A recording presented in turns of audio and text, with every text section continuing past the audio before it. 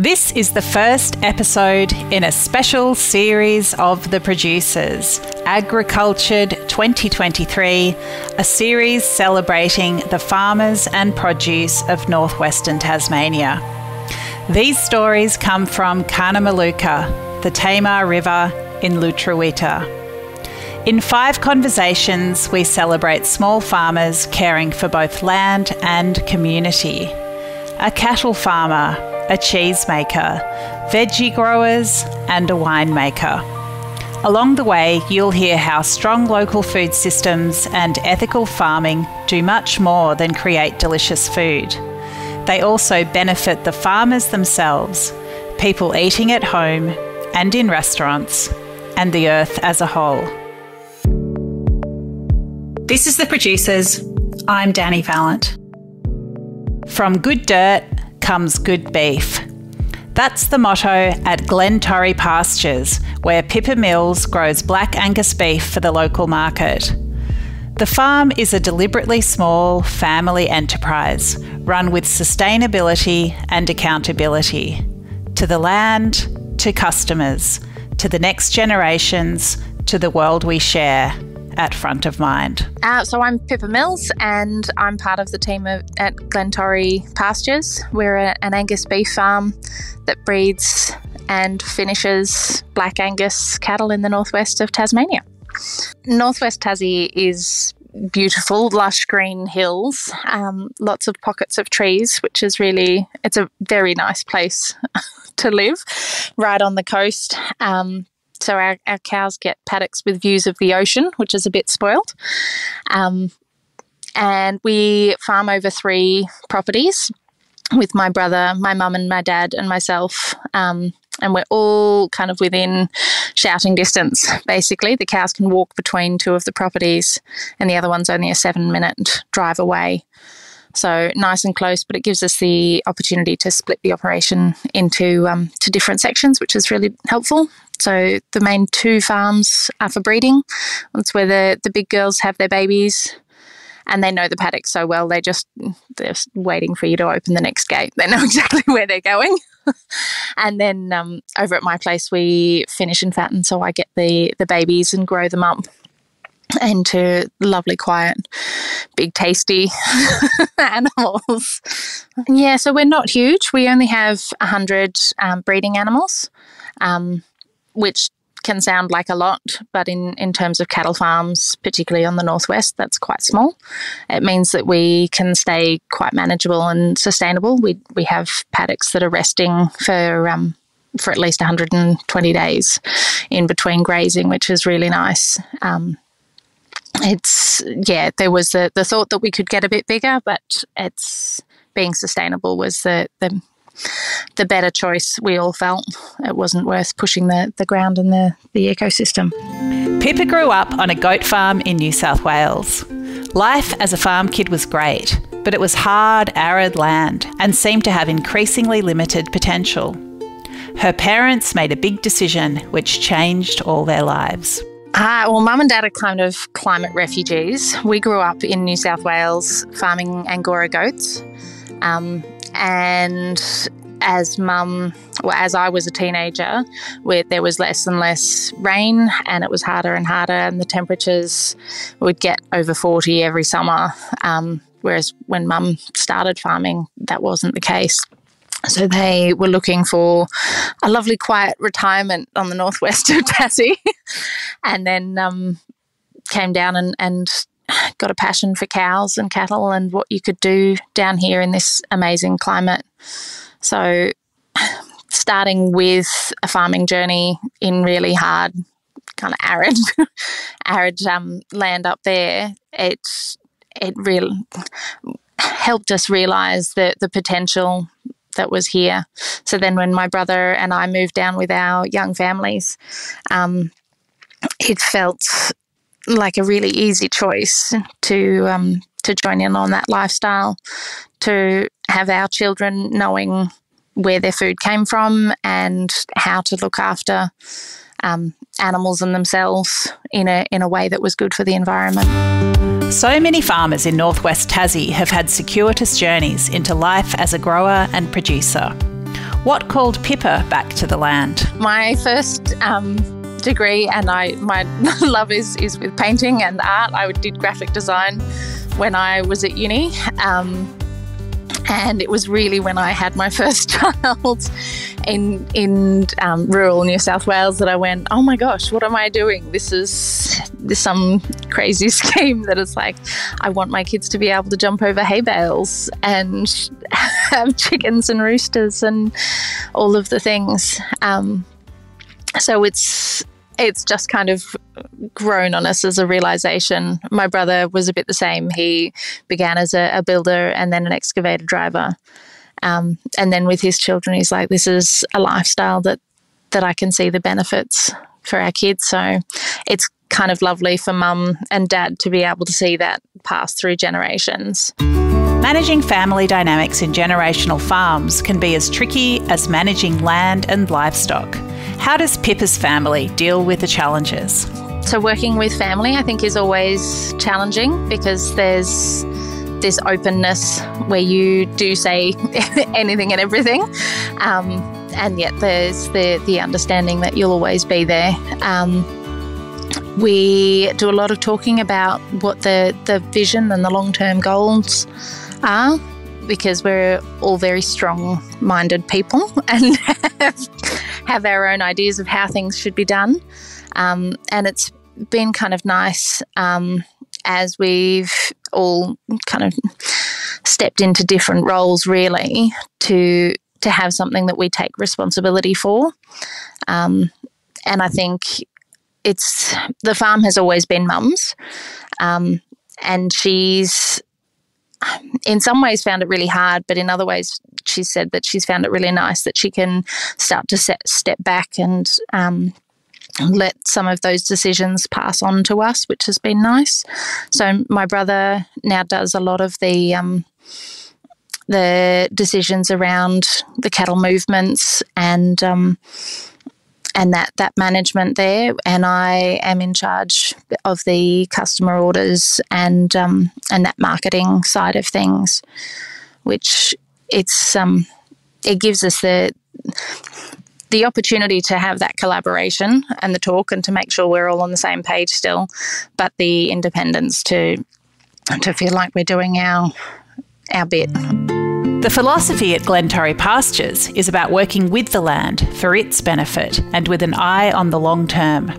It's not about extraction, it's a relationship and a responsibility. We're there as custodians of the land. I really love that that idea that we're there to take care of it, not to um, it's not ours to, to use and get what we can out of it. Our understanding is that it should always be better off, that we build more habitat and more ecosystem, and that the animals we farm there have to play a role in that. Um, so if you just have lovely paddocks full of grass, you actually need someone to graze that to come through to make that a habitat for other animals. The birds and things won't be there if um, if the grass is just left. So a grazing animal in an ecosystem works really well, but you have to manage that well. Um, so replanting trees, um, nature strips, and corridors of, of untouched in between. Um, so they we came across the idea i think it was in canada they have these lovely wildflower strips in between their paddocks i was like oh we can do that in our our tree sections where we've got lovely strips um, where we've put trees along we can leave that there and deliberately put some native seeds and things back through. And in between the weeds, you see it where they pop up these little orchids and things, and it's it's just wonderful. Um, at the same time, we do have trees areas where the cattle can graze underneath and are protected, particularly when they're calving. Um, so then they, they use that that ecosystem there, and it's a much more open. It's not a dense forest, um, but it gives them protection, and it then puts lots of cow poo and wee back into that. So when they're not calving, because obviously they only do that once a year, that whole area just springs back to life because it's been fed. Um, by all of those nutrients that come back through.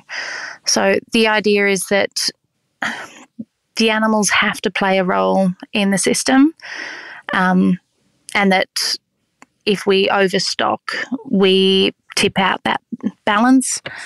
So, as managers of the the ecosystem and the land, it's really important that.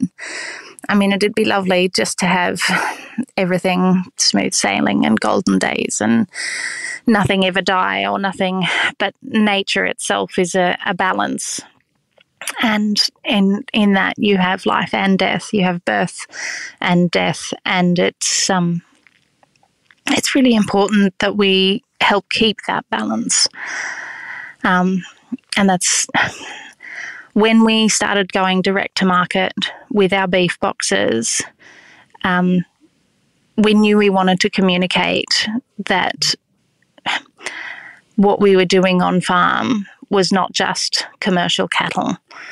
Um, and I, I was very conscious that telling that story had to be part of um, why I was doing it. I, my son had read that um, that cows were killing the planet and because of the, the methane and the carbon. Um, and I sat there and I, I took him around the paddocks and went, This is how we do things differently. If we overstock, if we tip the balance just for us to be greedy, then that won't that that does kill the planet. But what we do on our little patch here is really important. Um, and it, it made me realize that there's so much media, so much talk around the hype, the, the it's good to have a, a story that gets everybody's notice. But nobody's sitting there and saying there are farmers out there that really care about their land. And I felt that that was one thing that we could do with our with our story. Telling the story of Glen Glentorrie to the people who eat its products is a crucial part of the farm's project. Pippa explains how she's spreading the message. Farmers, even cattle farmers can be part of the climate solution. That relationship with customers has been so rewarding for us. Um, and it was something that I, I don't think the rest of my family fully anticipated. Um, when we go to market and we have people come back again and again saying it's amazing, and we have this lovely little grass stand that, that shows the roots and things that and how that carbon cycle works, drawing down um, the the carbon dioxide into the roots that feeds that makes the sugars that feeds the grass that feeds the cow. They suddenly go oh my gosh it is a cycle it's a system. Um, and you could see that realization on my dad's face he just went this is why it works because people need to hear that they need to understand um, and they they get that from us talking to them so social media has been really helpful, but I found it very hard. We're we're not a very showy family.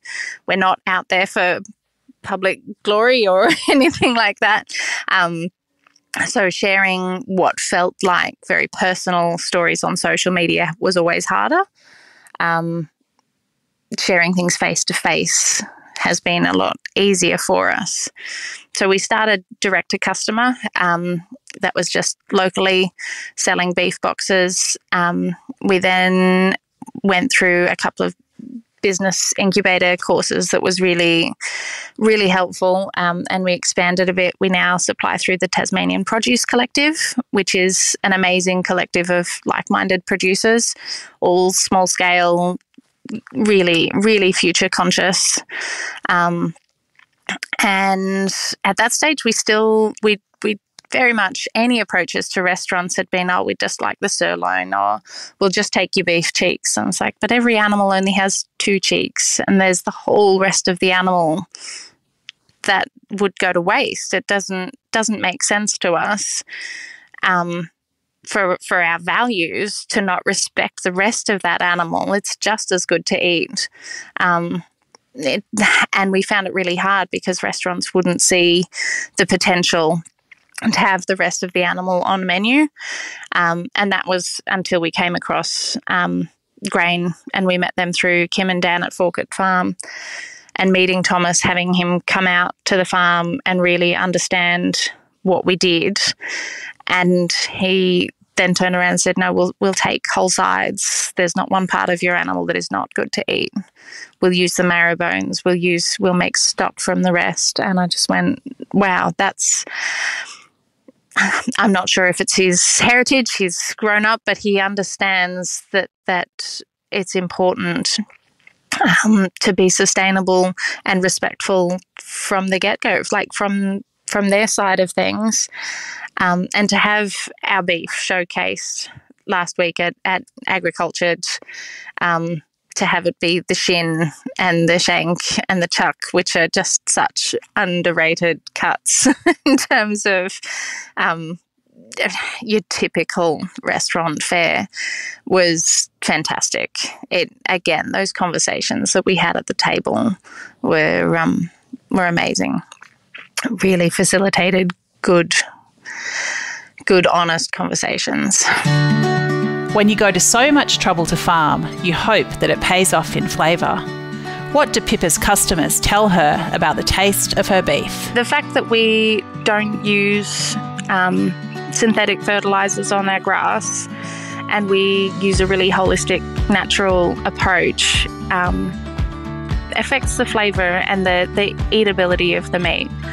So, when we first started, I knew we had a special product but the feedback we got when we first started talking to customers that had, that had ordered our first round of beef boxes, they were like, This is beef that tastes like when I grew up. This is not a wishy washy kind of half flavor. It's real beef and it comes through singing and it's it's really lovely when people go, oh, it doesn't give me a headache. It just tastes like beef, like my gran used to make, like, and it kind of brings back that sentimental side of of eating real food. Um, and that that was a really lovely aspect that we that I hadn't considered. Um, that people would be able to taste the difference of the way we farm. It makes sense that farmers need to follow rules, but it can be hard for small producers to get to market and stay viable. What changes would Pippa like to see in the supply chain and the way value is communicated? I'm not sure where to start there. There are a lot of regulations in Tasmania, um, and the meat industry as a whole makes it very difficult to um, to stay consistent. You have to be very on top of your product and where it's going because it has to pass through many different hands along that process. Um, and to build the relationships with those those people is really important. Um, I would love to make it easier for small sustainable producers to be heard and to have their product get to market. Um, at a, a price point that makes a difference to them. It's really hard when some food is so undervalued. And I understand that families are looking for cheaper ways to feed feed themselves. But that also cuts into to what the farmer then gets paid. Um, and when the farmer has to look for outside work, that cuts into the amount of effort, quality, and and time that is then spent looking after that habitat and that ecosystem on farm. And it um, it's a juggle and a struggle. Asking a farmer about a typical day isn't always the smartest question. Farming changes with seasons, weather, and the rhythms of animals. So, what's today been like for Pippa? Uh, well, this morning started off pretty well. we're, uh, we're just finishing calving, so we've got 73 calves on the ground. Um, and it was cool and crisp. We had a lot of rain overnight, so it was a bit slippery underfoot, but the sun is out and there's kind of this lovely fresh smell everywhere. And the big girls they know what to do, so they're actually waiting at the gate for their little cows to to get an ear tag and head through to the green pasture. And um, it's just, yeah, it's it makes you go, this is this is a lovely life. Pippa grew up with goats, so she's still confronted by the size of her black Angus cattle. What does she want us to know about the beasts that build her business? They're big. so, growing up with Angora goats, who were you know lovely size to be able to, to catch quite easily, cows are big. 600 kilos of mama cow looking at you um, can be a little bit daunting.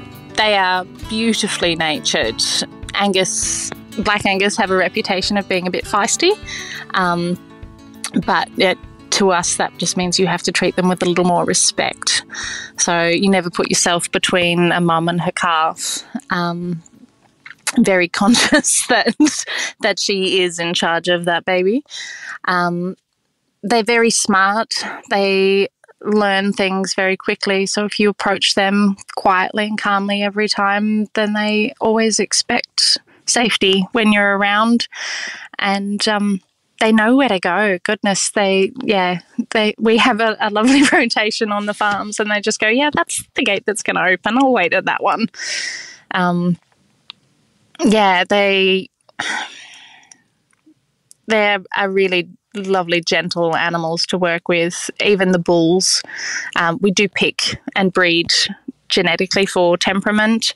Um, to make sure that as mum and dad get older, their safety is ensured because we don't want animals that are very quick to snap and have a, a cranky personality.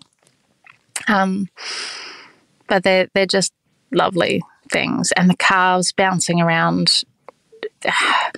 We think of lambs bouncing and jumping and, and gambling. Calves do the same thing, and they've just got the most gorgeous gangly legs. it's it's a lot of fun to see them run and play together. Farming this way is emotional and meaningful. So when Pippa has a connection with people who get it, it makes a real difference. Sending beef to a restaurant like Grain of the Silos in Launceston not only makes a difference to her family farm in a commercial sense, it's an affirming step towards changing the world in ways that are urgent and necessary. It makes me very proud of what we do on farm. It also makes me very grateful. I feel it, it feels like a privilege to have someone um, at that level because I grain of silos is it, it feels I'm trying to find the words. It um really gives me hope for the future because we need everyone to recognize and to eat sustainably. And if they can do it at that level in a big restaurant and say, we're not being forced to pump out 45 eye fillets because you only get 20 from one cow like it's it's really it means so much honestly i really feel at the moment we're on the edge of a fairly big climate crisis. To have something that feels like a positive action that I can do, that I can talk about, that's been important to our family for a long time, and to be able to share that um, is is gives you a sense of of empowerment that that it's not hopeless. Um, as I said, we've got children, um, my nephews and and my children that are coming up in the world, and they they're looking at it going, well, we can still make a difference. It's not just the doom and gloom that we hear in the news. And they can see that our farm can be a sustainable business by having different enterprises on the farm and the beef boxes being part of that, by having a marketplace that recognizes the value of what we do, it gives our whole family and the people that work on the farm a, a future, honestly. And it, it is Like that makes it sound really big and emotional, but that's what it comes down to. That's our livelihood. It's, yeah, it's really important.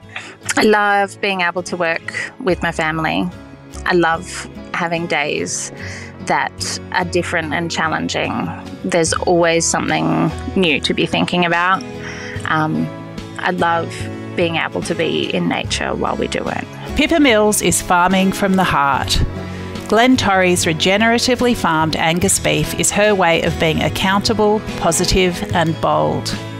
Cattle farming is a livelihood, and the beef is delicious, but it's also an answer to her children, who are in no doubt about what their mum is doing to make the world a better place.